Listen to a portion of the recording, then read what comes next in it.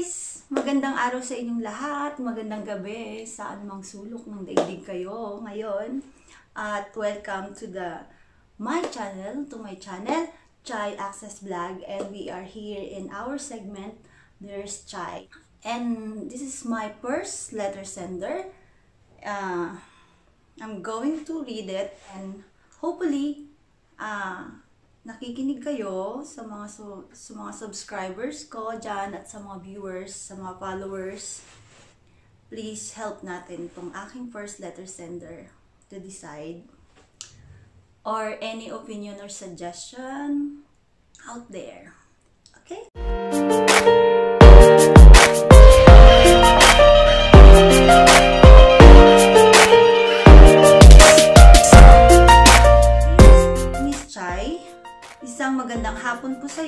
Sa lahat ng subscriber mo na nanonood ngayon. Ako nga pala ay isang single mom, 38 years old at itago mo na lang sa pangalang Sam.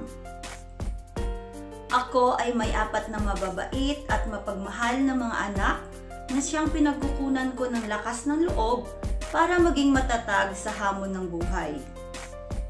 Okay at masaya naman ako as a single mother. Wala na po akong asawa, kasama na niya si God. Sa ngayon po, focus lang ako sa mga bata bilang full-time mom. Sila na kasi ang buhay ko. Sumulat ako, Miss Chai, kasi gusto kong humingi ng advice sana. Paano ko ba malalaman kung ready at pwede pa ako magmahal ulit? Minsan kasi, naiisip ko na bata pa naman ako at gusto ko ding may makasama at may magmahal sa akin hanggang sa pagtanda ko. Hindi naman kasi natin habang buhay makakasama ang mga anak natin kasi lalaki at magkakaroon din sila ng sariling buhay. Aaminin ko po na may mga nagpaparamdam sa akin at naghihintay ng sagot ko. Merong may tatlong anak at kagaya kong balo na rin. Meron din naman na may asawa pero hiwalay. May matanda din at kaya ibigay lahat ng pangangailangan ko. Naguguluhan ako, Miss Chai. Ang tanging gusto ko lang ay yung tanggap ako kung sino ako at ang mga anak ko. Yung kaya ako mahalin at pahalagahan. May napupusuan na ako pero gusto ko sana makasigurado mo na kung ang nararamdaman naming pareho. Mahirap magtiwala at mahirap magkamali ulit. Medyo di kasi naging maganda ang past relationship ko. Sana mabigyan mo ako ng advice, Miss Chai. More power and more subscriber to come. God bless you and your channel. Thank you. Love, Sam. Okay. Alam nyo guys, nung nabasa ko yung uh, tong letter ni Miss Sam, yung ating letter sender, napaka lungkot yung nararamdaman ko para sa kanya. Mahirap maging single mother. Kasi ang nanay ko naging single mother. Parang gusto kong ilagay ang aking sarili sa sitwasyon niya. Mahirap din magpalaki, lalo na at apat ng anak. Isa nga lang hirap na tayo, di ba? Hirap na. Paano pa yung apat na anak? Tapos wala ka na ring asawa. Well, Sam, ang may papayo ko sa'yo, kasi ang pinaka tanong mo dito sa akin ay kung paano mo ba malalaman kung ready at pwede ka nang magmahal ulit. Kasi pag matagal mo nang naramdaman, naranasan, no? Na magmahal tapos parang parang hindi mo na alam kung paano magmahal. Ano ba na-attract ka lang ba sa sa isang tao o ano bang hinahanap mo? Most of the time yung talagang hahanapin mo diyan ngayon eh yung yung wala doon, yung hindi mo naranasan doon sa past relationship mo. Kung ang dati ay hindi siya sweet, syempre hahanapin mo sweet. Uh, pero i-consider mo na ngayon kung yun nga, tama ka. Kung matatanggap ka kasama ng mga anak mo. Tatanggap din ng mga anak mo. Mahirap sa isang lalaki ang magmahal ng isang babae na may anak na. At lalo mas mahirap at apat pa, magiging instant, di ba? kung ilalagay ko ang sitwasyon mo sa sarili ko bilang chai, siguro ah magiging ready lang ako kapag yung mga anak ko, naiiwan ko na kahit paano, yung may responsibility na sila, na hindi nila ako kailangan all the time. Lalo na 38 years old ka pa lang, siguro may elementary ka pa. Kung kailangan kasi ng focus ng elementary. So, kailangan mo dyan, pag nagmahal ka, magkakaroon ka ng time doon sa, sa mamahalin mo din. Kasi ang magiging ano nyo dyan, ah magiging part, pag nas, pumasok ka na sa isang relasyon, magiging number one na magiging issues nyo ay yung may time ka ba sa kanya? Sapat ba? Kasi mahati eh. Sa mga anak mo, ganun din. Mahati din ang attention mo. So, kailangan na manage mo siya. Yung mamahalin mo, dapat ay alam niya ang priorities mo. And, katulad nun, sa tatlo, kung akong tatanungin doon sa tatlo, siguro, dapat kilalanin mo muna yung mga ugali nila. And, make sure na seryoso talaga sila. Sa una, balo na rin pala. May mga anak, so maiintindihan mo yung sitwasyon niya, maiintindihan niya yung sitwasyon mo. So, mag, magbibigayan kayo, give and take. Dun sa pangalawa na sabi mo, hiwalay, kilalanin mo muna. Tingnan mo yung reason kung bakit sila naghiwalay, kung anong naging issues. Ngayon, kung tingin mo eh, mm, ano siya, ah, accepted, hindi siya yung ng babae. Kasi tayo mga babae ang talagang unang tatanungin natin is, siya ba ang ng babae? Siya ba ang nang iwan? Ah, siya ba ang nagloko? Kasi ayaw natin yan. Siya ay nagluloko. So may chance kasi na pwede niyang gawin din sa'yo. Pero may chance namang nagbago na siya, nagsisi siya. Kailangan mo talagang kilalanin yan. Mabuti. Doon sa pangatlo, matanda, mature. I mean, kung ako yun ah, wow. So, kung companionship lang naman ang gusto mo, at mas mahal ka, mahal na mahal ka, I think it's, uh, pwede ka din doon. Yung mga anak mo, ah, mag, magkakaroon ka ng katuwang. Pag ang tao naman ay is mabait, ah, nandyan lagi sa'yo, ah, priority ka din, hindi, hindi mo may ignore yan eh. Ma, madadagdagan ng madadagdagan ng nararamdaman mo sa kanya.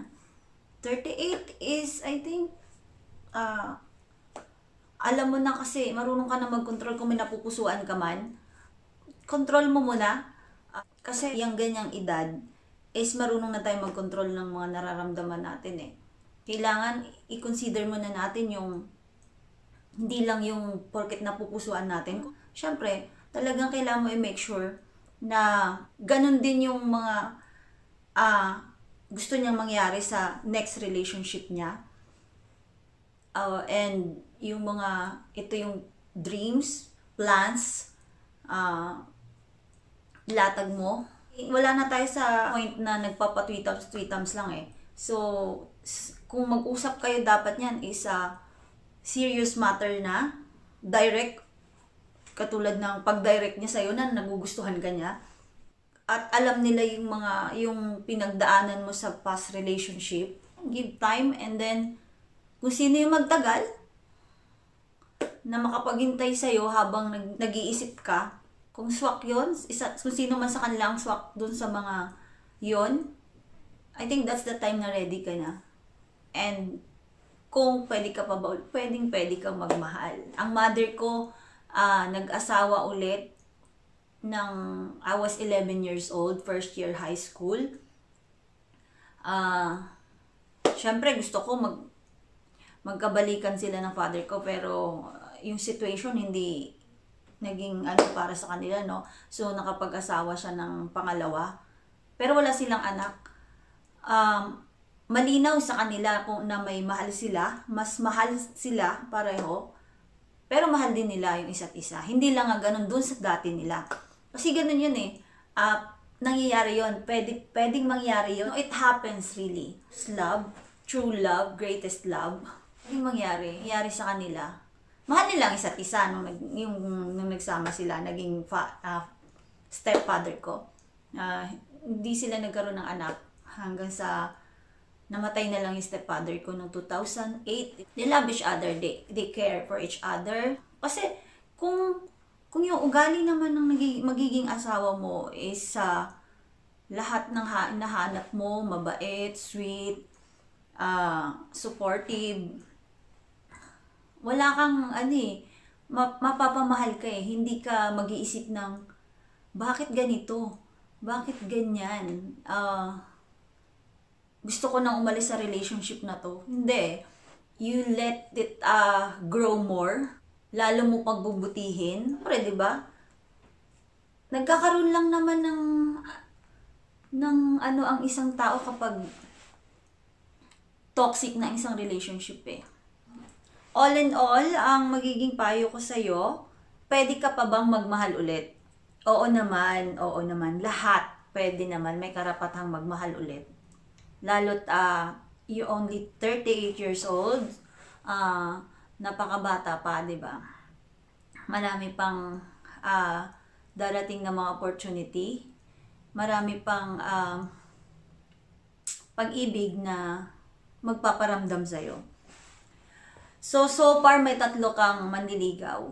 Huwag kang magmadali uh, nasagutin agad isa man sa kanila o yung napupusuan mo sa ngayon, uh, bigyan mo muna ng time. Mga 3, 4, 5, 6 months o kung kailan mo, ano, wag mo naman paabutin ng matagal na taon bago ka mag-isip. Yung pinakamatagal na isang taon, 6 to 1 year na pagbibigay ng ano, no, makikilala mo na yung tao sa ganun. Malalaman mo na sino yung mag-stay yung matyaga, magtsatsaga talaga kung hanggang kailan mo siya sasagutin. Lalo na yung napupusuan mo. Doon mo malalaman kung matyaga siya, seryoso siya sa'yo. So, pangalawa, uh, list your plans, dreams, and priorities in life sa next sa next relationship mo na uh, ini-expect yung mga hindi mo na naranasan sa past relationship. Kasi kung ako yun, no, kung ako ikaw yun, yun ang hahanapin ko. Uh, unahin mo yung, yung mga bagay na yan na ilatag mo ang iyong mga priorities, plans, and ano dun sa mga sa napupusuan mo sa sina para alam niya rin kung kaya niya bang uh, i-handle din yon kaya niya ring ibigay and then pangatlo eh yung know their attitudes and characters uh, give time para makilala mo sila. Gumawa ka ng isang listahan, uh, checkan mo doon yung sa bawat pagkikita nyo, bawat uh, pag-uusap nyo, uh, ay, ano siya, mabisyo pala to. Ganon. Check mo. Negative, positive. Kung saan ba yung nakakatanggap-tanggap, ah, tanggap ko siya na ganito siya. So, list mo yon Kung mas marami yung negative dun sa attitude na ayaw mo, uh, medyo magdalawang isip ka na. Kung mas marami, lalo na dun sa napu, napupusuan mo, kasi sa edad mo na yan ha, hindi na kailangan lang na puro puso lang eh. Lalo't may mga anak ka. So, kailangan, consider mo yon Consider mo yung, yung katotohanan na meron kang mga anak na dapat tanggap rin nila. Kasi maapektuhan yan eh. Magiging issues nyo talaga dyan. Ganyan. Hindi swak yung attitude nyo, yung magiging decision nyo sa isa't isa, sa pamilya, pag nagbuo na kayo ng isang relasyon, ng isang tahanan. Yan ang magiging issues nyo. So, hindi rin kayo magtatagal. Sa, dal, sa napupusuan mo at hindi naman swak yun. Pwede kasi mawala yun eh. Pag may nakita na tayong hindi natin nagustuhan, ay turn off na, ba? Dun sa dalawang hindi mo napupusuan, uh, kung maganda naman ang ugali, at swak naman yung ugali nyo, eventually, magugustuhan mo na rin eh. Unti-unti magkakaroon ka ng nararamdaman. Yan kaya may tinatawag na nade-develop eh. Minsan, di mo siya gusto ngayon, pero habang nakikita mo yung maganda niyang ugali, nagugustuhan mo na siya, napupusuan mo na siya. So, I think, that's all. Yun yung sagot, yung advice ko sa'yo. And tingnan natin kung ano yung magiging advice din sa'yo ng ating mga uh, subscriber and viewers. Nasa sa'yo, ikaw pa rin na magde-decide. Uh, just give you the few tips kung paano mo i-handle yung sitwasyon mo sa ngayon. Uh, sana nakatulong ako. At yan sa mga advice ko sa'yo for now. So, wait natin ng ating mga subscriber, ang ating viewers, my close friend and other best friends at uh, yung mga bagong kaibigan kung ano ang magiging advice nila sa'yo sa Friday. Uh, ibigyan natin ng time yan na para malaman mo hindi lang isang advice ang naririnig mo at dun galing din sa mga taong nakaka-relate ng sitwasyon mo. Uh, just comment down below. Let me know uh, someday kung nakatulong nga ba ako hindi. Yan. Okay, Sam. Thank you and God bless you. Stay strong and just uh, go on to your life. Iiwanan kita ng isang uh, second chance quotes about love and and this is it. Life always offers you a second chance and it's called tomorrow. So, tomorrow is always a second chance to everyone. Sana nagustuhan mo yan. Sam, thank you. Bye-bye. Thank you for watching guys. Like and subscribe.